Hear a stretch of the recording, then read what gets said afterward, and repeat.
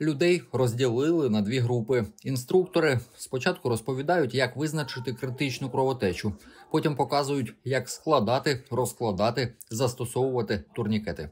Починається практика. Якщо ви складете його навпаки, він у вас буде так всередину. Інструктор Костянтин говорить, що з натівського протоколу Марч, який в даному випадку адаптований під україномовний алгоритм дій, їх п'ять. Основна увага приділяється зупинці критичних кровотеч. Пояснюю, чому. Кров це можна сказати е, сама основна рідина в тілі людини. Е, Якщо її не стає, людина не живе. Тому дуже важливо, щоб в першу чергу зупинялася саме кров.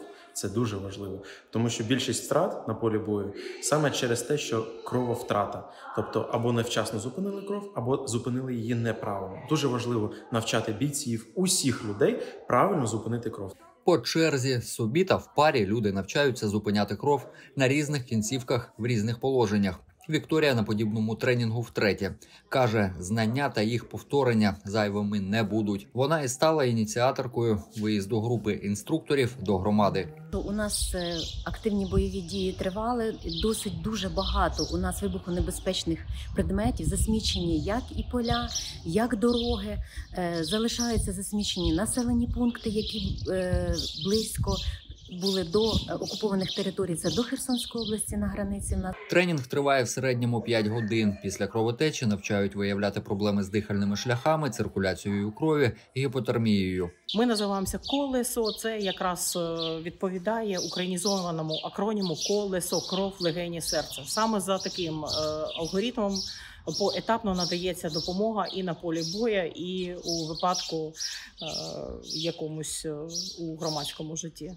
Одна із вправ тампонада також може стати в нагоді в екстреній ситуації серед цивільного населення, говорить інструктор Андрій. Один, два, три. Він поки показує. Селище вісім місяців перебувало на лінії вогню. В місцевій лікарні доводилось приймати пацієнтів, яким надавали домедичну допомогу. Бували випадки, коли були активні бойові дії, куди швидка медична допомога не могла виїхати.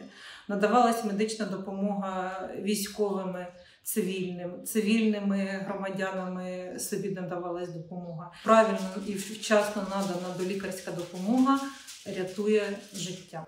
Ізраїльський бандаж, термоковдра, марлеві бинти для тампонади все це може врятувати життя, говорить Костянтин. На Миколаївщині цією командою навчено понад чотири сотні людей. Майже половина з них військові. Миколаївщина стала п'ятою областю, де відкрили філію центру. Перший створили у Києві в березні 2022 року. Всього Україні за рік роботи. Курс прослухали понад 22 тисячі людей, розповіла Зоя Філіпова. Олександр Гордієнко, Суспільне, Новини Миколаївщина.